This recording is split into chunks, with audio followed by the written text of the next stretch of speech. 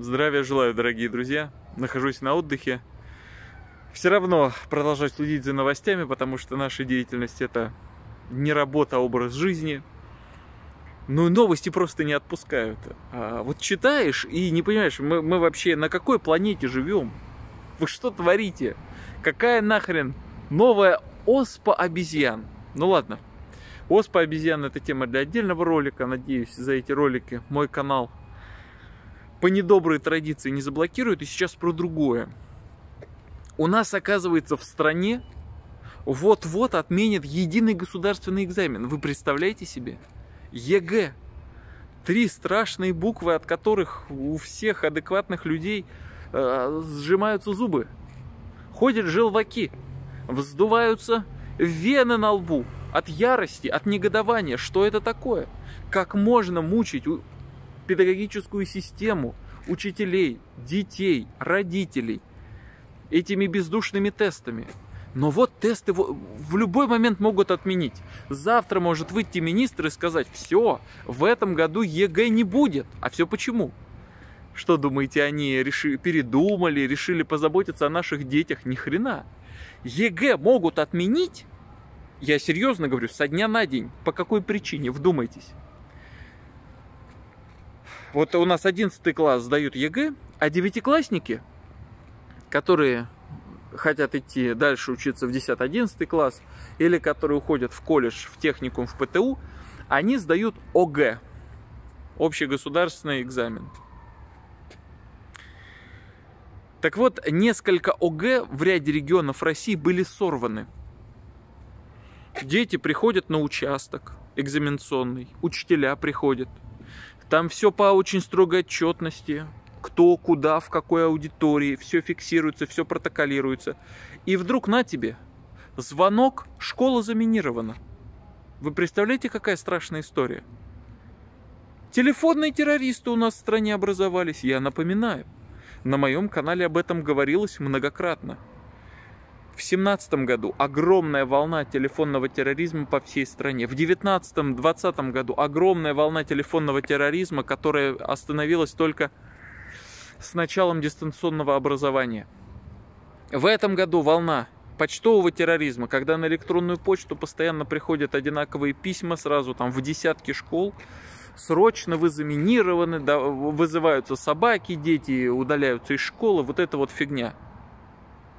У меня возникают вопросы, почему за все это время ни хрена не было сделано? Ну доигрались, дебилы долбаные, прошу прощения, ну, но это смешно. Как это вообще может быть в нормальной стране? Как это вообще возможно? Столько лет, уже больше пяти лет с этой проблемой вы не можете разобраться. Да неужели? Телеграм они пытались заблокировать. С Ютубом они все время бодаются. Фейсбук, Инстаграм. Вы некоторые почтовые сервера заблокировать не смогли. Вы не смогли настроить э, фильтрацию одинаковых писем, которые в десятки школ направляются. Слушайте, это делается, вот я не э, программист, не информатик. Напишите в комментариях, вот кто специалист в этой теме. Я как себе представляю, вы берете, ставите несколько э, специализированных серверов, чисто для почту, почта для государственных учреждений. Все школы регистрируют свою рабочую официальную почту исключительно туда, на эти специальные серверы – эти серверы находятся в руках государственной системы, Министерства цифрового развития, какого-нибудь там подразделения. Все письма, которые туда приходят, могут быть прочитаны, проверены, проанализированы. Если кто-то присылает в одну школу, это может сработать.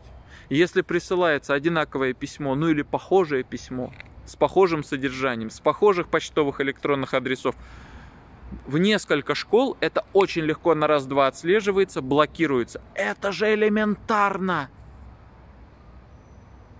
Стоимость, ну, например, 100 тысяч рублей. 100 тысяч рублей это стоит. Ну и посадить там двух-трех человек, которые будут на зарплату, там, условно говоря, еще там 200 тысяч рублей на, на троих специалистов, которые будут сидеть и э, из месяца в месяц за этим наблюдать. Что, у государства не было этих денег? Всем просто наплевать. Доигрались. Сейчас Украинцы веселятся, украинцы это вот проворачивают. Сейчас, возможно, ЕГЭ по всей стране будут сорваны. Представляете, какой стресс будут переживать дети, учителя, которые за это все будут отвечать. Это же, это же просто, там инфаркты будут, там истерики будут, там нервные срывы будут. В какой форме? А, сейчас выйдет Кравцов и скажет, общественность просила, чтобы мы отменили ЕГЭ. ЕГЭ отменяем. Высшее учебное заведение вправе назначить свои вступительные испытания. А когда к ним готовиться, простите, когда готовиться к экзаменам, которые вузы будут проводить? То есть люди сейчас уже на последнем издыхании от напряжения, что они там все последние месяцы особо напряженно готовились. И сейчас им говорят, не-не-не, а теперь экзамен будет другой. Вам теперь надо не спеть, вам надо станцевать. Вы представляете вообще, что это такое для детей? Второй момент. А, вот у нас а, не обращают внимания на проблему, например, почтового терроризма. Да, так я его называю про себя. Был телефонный терроризм, теперь почтовый терроризм. Другая проблема. Колумбайны. У нас за последние несколько лет одна за одним произошли страшные трагедии, когда учащиеся школ, э, студенты, э, учащиеся колледжей врывались в свое учебное заведение, производили насильственные действия. Стреляли, взрывали, резали одногруппников, бывших одноклассников, там, соучеников, а, учителей, администрацию, охрану. А, в любой момент это повторится. Просто в любой момент. На экзамене, 1 а, сентября, в детском лагере, в любой момент это повторится. Ждать долго не придется. Что-то система сделала, чтобы этому воспрепятствовать? Что-то кто-то сделал? Я свои предложения многократно высказывал. Во-первых, надо пересмотреть принципы работы школьных психологов и резко увеличить их численность. Хотя бы в 3-4 раза. На каждую школу должно приходиться хотя бы 3, 4, 5 психологов. И все они должны в срочном порядке пройти дополнительное повышение квалификации, а желательно сдать специальный экзамен на право работы с детьми, потому что многие школьные психологи их детям нельзя подпускать на пушечный выстрел. Они не понимают, где кончаются права психолога школьного, где начинаются права родителей, права семейного воспитания. Они лезут в интересы семей. А работать вот с такими явлениями, как школьный, блин, Колумбайны – массовые расстрелы в учебных заведениях, это мы не можем, это нас не касается. Ну, то есть все с ног на голову. То, чем заниматься нужно, мы не занимаемся, то, чем заниматься нахрен не надо, мы туда лезем своими грязными копытами. Прошу прощения, мой французский. Я тут читаю ваши письма, дорогие друзья, читаю, что пишут всякие эксперты и аналитики, просто диву даюсь. Дальше идем. Значит, с Колумбайнами тоже.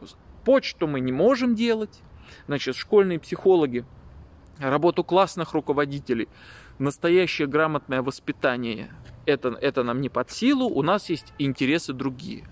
Сегодня министр просвещения Кравцов, тот самый человек, который должен заниматься школами, вылез с потрясающей новостью. Оказывается, у нас теперь, ну, у нас язык, русский язык, это вещь живая – это вещь, которая постоянно меняется, развивается, видоизменяется.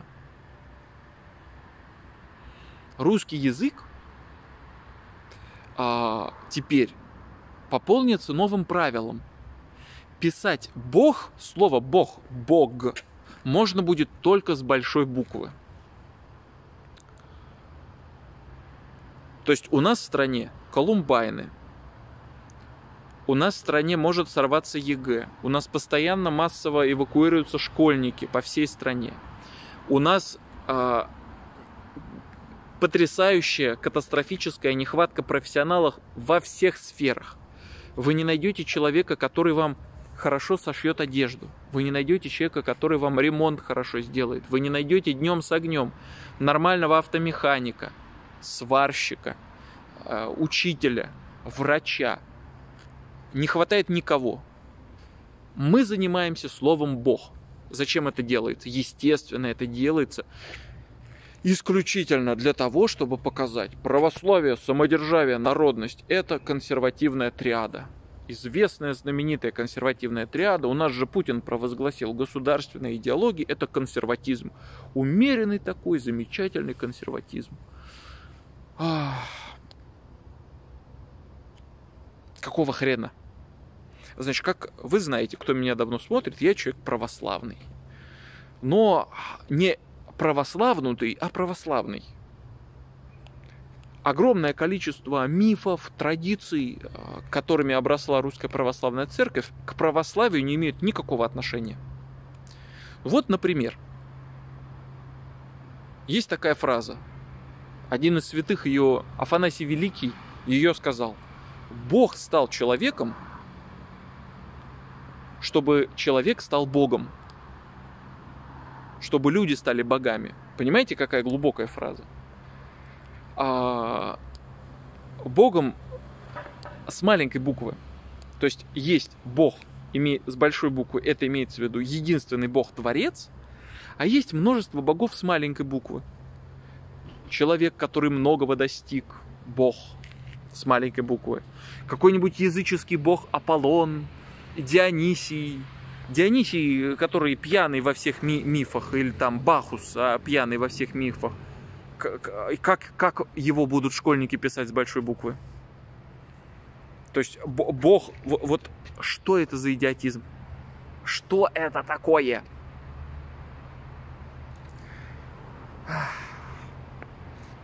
Показуха и система правил для контроля и подчинения, для принуждения – это, понимаете как? Они считают, что если заставить детей писать слово Бог с большой буквы, дети будут чтить э, православную веру. Естественно, с реальностью это не имеет никакого э, соприкосновения. Напротив, наоборот.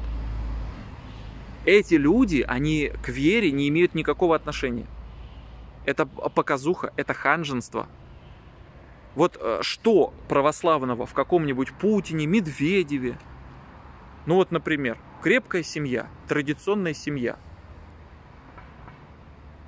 У нас Путин-то развелся, семью-то свою не уберег. Или, например, а, стремление к истине. Нет, кругом ложь. В Библии сказано – дьявол, сатана – это ложь и отец лжи. И вот, пожалуйста, куда ни, ни, ни глянь, куда ни плюнь, вранье на вранье. Сплошная пропаганда из ролика в ролик, мы ее э, вынуждены разоблачать. Благотворительность. В Библии сказано, вера без дел мертва. Где наша власть, наши чиновники, которые ворочают триллионными бюджетами, где за 20 лет, за 30 лет стремления к созданию социального государства, где достойные пенсии, зарплаты, социальное обеспечение. А, сирот мы не можем обеспечить жильем. На больных детей мы собираем деньги. Нет, простите, эти люди к православию не имеют никакого отношения. Более того, люди набожные снаружи и мертвые внутри были всегда. В Библии такие назывались фарисеи – вот наши а, правители – это фарисеи. Фарисеи – это те самые ребята, которые Иисуса распяли. Вот, вот эти вот, вот а, шобла путинская, вот эти чинушья сфора, это и есть современные фарисеи, которые берут веру и собираются снова ее использовать на всю катушку для оболванивания, для промывания мозгов нашим школьникам. Не своим примером. Нет, нет, исключительно, исключительно напрямую. О, пусть дети будут писать слово Бог с большой буквы, и они перестанут замечать, что в современном обществе нет семей, что все разводятся там, изменяют друг другу и так далее. Не будут замечать вредных привычек, не будут замечать лжи, эксплуатации человека человеком что человек человеку волк в этом капиталистическом обществе. Не-не-не, дети ничего не будут замечать. Одуванчиков а, Одуванчики, конечно, они очень выгодны этой власти. Одуванчики будут доверчиво подвергаться сверхэксплуатации ради высших идеалов. Положи свою жизнь, здоровье, совесть, все свои таланты на алтарь чужих доходов. Все, олигархи будут благодарны. К другим новостям вкратце. Был такой завод Азовсталь, один из крупнейших металлургических комбинатов в мире. Сейчас, после длительных кровопролитных боев, осады, Азовсталь взята, все люди оттуда вышли, сдались. Правда, нам почему-то до сих пор не показывают никаких офицеров НАТО. Возникает вопрос. Что будет дальше с Азовсталью? Ответ известен. Азовсталь будет уничтожена. На ее месте построят парк. То есть у нас сейчас вроде как импортозамещение, нам нужно все делать самим. Даже Матвиенко внезапно очухалась и сказала, у нас, оказывается, даже гвоздей своих дефицит. Андрей Викторович Караулов зачем-то рассказывает, что у нас гвоздей полно, хотя это хрень собачья, у нас не полно ни, нифига гвоздей. У нас нет изделий, дефицит. У нас ничего не хватает. Ну и, собственно, заводы нам надо строить. Азов сталь, конечно, надо восстанавливать, это тяжело, но этим надо заниматься. Не-не-не. Туда отправился Марат Шакирзянович Хуснулин, который там будет строить парки и человейники. Импортозамещение у нас. Мы заводы замещаем парками и человейниками. Прекрасно. А пленные Азовстали, Азовсталь а, окружала а, народная милиция ДНР, штурмовала народная милиция ДНР, в плен взяла народная милиция ДНР. Эти пленные азовцы содержатся в тюрьмах ДНР, а почему-то решает их судьбу, заявление об их судьбе делает российский МИД. Вы понимаете, что ДНР это отдельная страна? Что за хрень-то? Еще одна хрень замечательная. Оспа обезьян. Это потрясающе вообще. Я вам говорил, что коронавирус, скорее всего, в середине 22 года уже никого не будет волновать. Ну, по идее, следующая волна вот такого чего-то массового жесткого начнется осенью, по моим прикидкам, по моим представлениям. Пока что рано. Но они уже кидают пробные шары. Я считаю, что оспа обезьян это некий пробный шар может быть, будет хуже, чем, чем я думаю. Может быть хуже, может быть нет. По идее, если вы э, родились до 80-го года, то есть вам сейчас 42 и, или больше, по идее у вас есть э, на плече отметина от оспа, от прививки от оспы. Э, соответственно, вы защищены от оспы обезьян в том числе. То есть жители возрастные жители Советского Союза, по идее, вообще никаким вмешательством подвергаться не могут. В других странах это будет иметь э, больший масштаб. В любом случае надо четко понимать, отдавать себе отчет. На всех этих историях люди научились зарабатывать миллиарды долларов, десятки миллиардов долларов, если не сотни. То есть это очень выгодно. Это будет продолжаться. Вы знаете, что за эти темы э, YouTube любит блокировать, поэтому я говорю аккуратно. Самые какие-то важные такие интересные новости я публикую в нашем телеграм-канале. Обязательно подписывайтесь. Ну и последнее. Продолжается судилище над Кириллом Украинцевым. Надежда нашей страны а, – это народная самоорганизация, народовластие. Это ваше объединение в профсоюзы, в родительские комитеты, в экологические благотворительные общественные движения организации. Объединяйтесь, вступайте, боритесь за свои права. Естественно, чем серьезнее работа, чем больше вы можете добиться, тем больше вы будете встречать сопротивление. Вот Кирилл Украинцев а, организует профсоюз, подвергается давлению. А руководитель профсоюза «Курьер» Сейчас его обвиняют во всех смертных грехах. Худший человек страны. Люди, из-за которых нет у нас танка формата, нет у нас нормальных самолетов, нет у нас нормальных средств радиосвязи и обмундирования, это ничего страшного. А вот профсоюзные активисты, все, надо посадить, надо рты заткнуть. Спасибо за просмотр, дорогие друзья. А, обязательно подписывайтесь, ставьте лайки, делайте репосты. На связи. Всех вам благ, берегите себя. До новых встреч, пока. Свободу Кириллу Украинцеву.